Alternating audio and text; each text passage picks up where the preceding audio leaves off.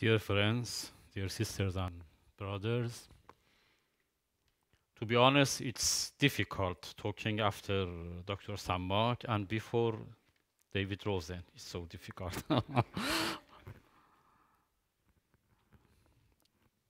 when I left politics in 2003, I began to read all the holy texts. I mean Avesta, Upanishads, Gita, Buddhist text, Old Testament, New Testament, and finally the Quran, about which I read some interpretations. Consequently, an important question occurred to me what is the single best verse in all of the holy books?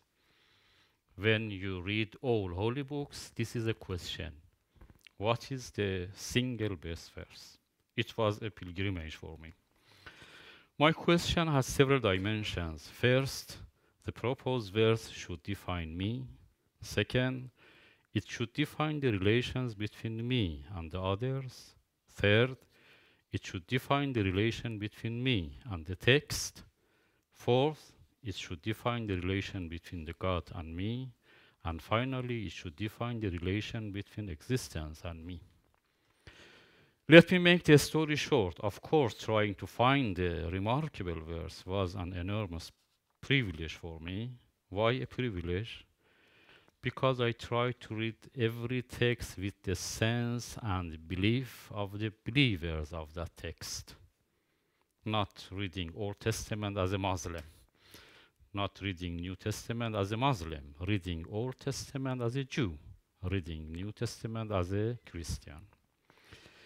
That was a great lesson the clergyman in our village taught me 50 years ago. He told me you should read the Old Testament like a Jew, the New Testament like a Christian, and he narrated for me a poem by Rumi. Certainly, you remember that delicate quote by T.S. Eliot. He says a poem changes blood into ink. The main source of this quote is Rumi. Let me read it in my language Persian. خون همی جوشد منش از شعر رنگی میزنم. Exactly this is the translation of what we find in T.S. Eliot's quote. But the important point of Rumi's poem is the second verse. Says, گر شوم موسا بیاموزم یهودی را تمام ور شوم عیسی بگیرم ملت ترسایی If I will be as a Moses, I should be a perfect Jew. if I will be as a Jesus, I should be a perfect Christian. This is a text by Rumi. Because of that, I try to read text not as a Muslim, for instance, as a Muslim reading the text. No, I don't believe to this part. I don't believe to this part. I reject this part. I reject this. No, as a sense of a Christian, as a sense of Jew. if I were as a Moses, I should be a perfect Jew. And if I were as a Jesus, I will be a perfect Christian. I think it is the essence of a new theology that we are longing for in this critical time. Coming back to the story of finding the best or most suitable verse to be the basis of a new theology, I found my verse in the New Testament, in Mark chapter 2, verse 28. Jesus was speaking to the Pharisees Jesus said to them, The Sabbath was made for man, and not man for the Sabbath. I think this is a cornerstone for a new theology that we need in this crucial time. I think this glorious word of Jesus Christ has the capability to be a cornerstone of a new theology. I think the Pharisees in this text are the icons of all clergymen, rabbis, ayatollahs, sheikhs, cardinals, bishops, monks, gurus, and etc. And Sabbath is the icon for all religions in the history of humankind. The message is profound and obvious.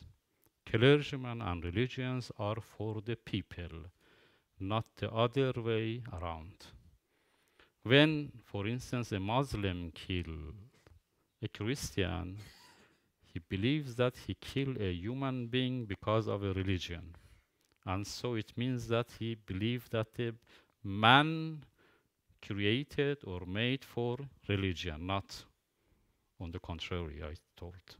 Let me borrow a thoughtful German term to explain my view about theology. The word Gestalt in the German language is untranslatable, especially when we find it in philosophical texts. Gestalt is not shape, is not a structure, but it is a shape, a structure, and deep structure. Let me give you an example. An Omega watch has 115 pieces exactly. The watchmaker should use all the pieces, put everyone in its spatial place, relate everyone to the other pieces. The deep structure is the moment when the watch begins to tick. Without ticking or without the meshing of all the gears together, we have the shape of a watch. We have, we even have the structure of watch, but we have no watch. We cannot manage our time, or in other words, our life. This is the real identity of the watch, the sound of its soul. This is the managing of seconds. This is the vital watchology, watchology, if you like. I mean, the theology should be of benefit to the people. Secondly, it should be understandable. In the beginning of the book, I remember by Karl Rahner, a caricature is published. A theologian is delivering his speech. Among the audience, Jesus Christ is sitting and looking to the theologian speech and saying, I don't understand. Why Jesus Christ does not understand? I think if our prophet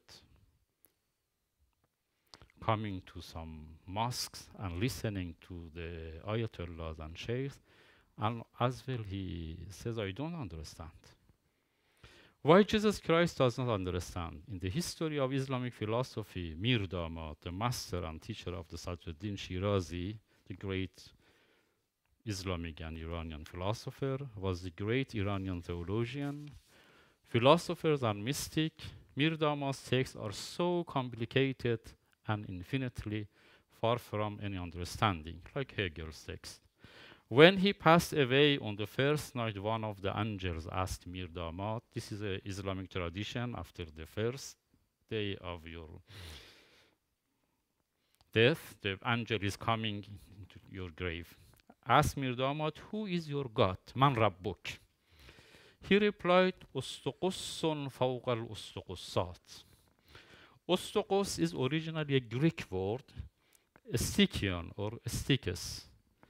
It means the identity of everything in the final or highest stage of our knowledge and research. The angel did not understand the word. So the angel, she went to ask Almighty God, but Almighty told her, do not worry. When Mir Damad was alive, I did not understand his language at all. this is, I think, the language of so many theology we are facing in Islamic world or the other words. We have a verse in the Holy Quran, chapter 54, verse 17. لقد يسرنا القرآن للذكر فهل من مدكر This verse repeated is four times in chapter 54. We have indeed made the Quran easy to understand and remember, then is there any that will receive admonition? It is said that the theology of Karl Rahner begins where and when the traditional theology ends. This is so important point. In the new theology, we need to focus on two pillars. First, the center of theology is the benefit of man. And second, the theology should be understandable, readable for the people. These two elements should light on each other and offer a context of relevance for each other. I think, as Buddha says, in the book of the twos. Book of the Twos is so thoughtful book. Buddha organized a dichotomy for us about every subject and look at the subject from two various point of views. We need liberation of mind. This is Buddha's text. We need liberation of mind and liberation by wisdom. Liberation of mind and liberation by wisdom. When I say mind regarding this subject, I mean an old theology. In that theology based on Martin Buber's epoch-making book, I and Thou, we are talking about the God. Our relation with Him is the relation between I and He. So there is a huge gap between us.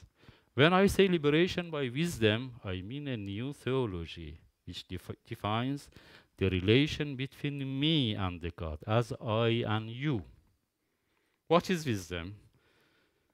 Is it to be a roadmap for this new theology? I mean the wisdom that Prophet Solomon asked of Almighty God Jehovah.